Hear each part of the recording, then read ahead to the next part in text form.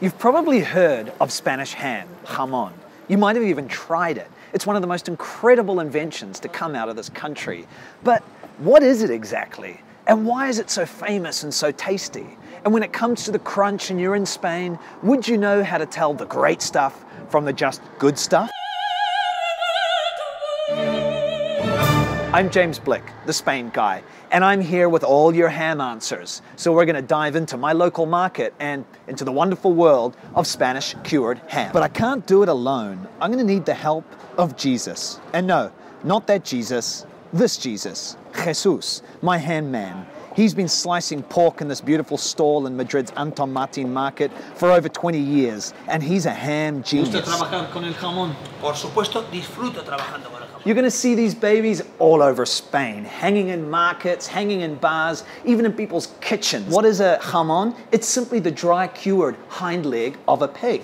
How do you make one? Well, you got to kill a pig, pop off the back legs, cover it in salt for about a week, and then you know what you do is you hang it to dry for a minimum of just under a year, maximum of three, three and a half years. Great hams are like fine wines and they get better with age, and man, it's it's getting it's getting heavy. But when it comes to ham, it's a confusing world, and so this is the information you need to make great ham choices. Check out the prices on Jesus's hams from 16 euros all the way up to 128 euros. What gives? What's the difference? Well, I'm afraid not all hams are created equal, and it comes down to breed. So there's these guys, Jamon Iberico. These are from a native breed to Spain called the Iberian pig, and it's just tastier. And then there's these guys back here, Jamon Serrano, and that's anything that's not the Iberian pig.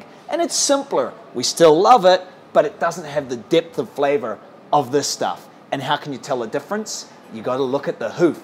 These guys have black hooves. That's why they're sometimes called pata negra, black hoof. And if by some cruel trick of fate you could only eat one piece of cured Spanish ham in your life, which would it be? Muchas gracias. Jamón Ibérico de Bellota. It smells incredible. This little piece of heaven is from a black hoofed pig, but a special one. A free range black hoofed pig that's been rooting around the countryside, very, very happy. And in the last three or so months of its life, it's just been eating acorns that have been falling from the oak trees around where it lives. And those acorns have an oleic acid, which enriches the flavor of the meat and takes what is already delicious, the Iberian pig, right into the stratosphere. It makes it a super Iberian pig. 128 euros a kilo, best to be enjoyed like and with a fine wine. Mm. I'm not even going to tell you how good it is. You just need to try it. You need to taste it. It's rich, it's lingering, it's unbelievable.